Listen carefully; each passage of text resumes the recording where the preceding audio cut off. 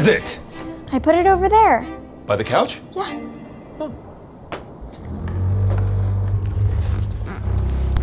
An electric eel.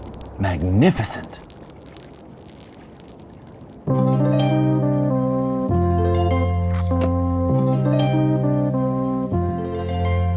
Our submarine is docked here, in the Amazon River.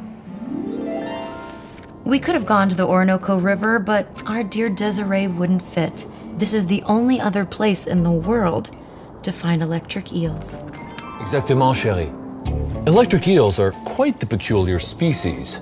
They're like aquatic batteries. The majority of their body is made up of organs that produce electricity.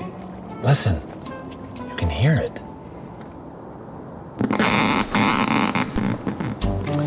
They're also obligate air breathers, which means they must surface every 10 minutes or so to breathe above water.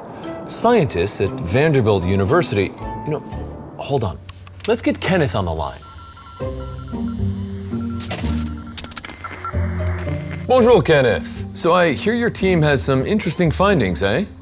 Yeah, we discovered something really remarkable. So when you threaten or corner an electric eel, it can leap out of the water and put its chin onto you so that the current is sent straight through your body and back down to the water, giving maximal shock. How? Shocking. Now, how do these eels generate all that electricity? Well, they have modified muscles that in the course of evolution are now just used to generate electricity, and they line these up in series to generate high voltages and create a very powerful shock.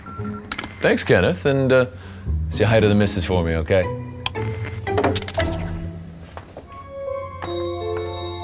These eels might be dangerous, but once they shock their prey, they need time to recharge.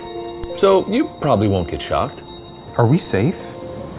There's no cover on the tank. Yeah, sure.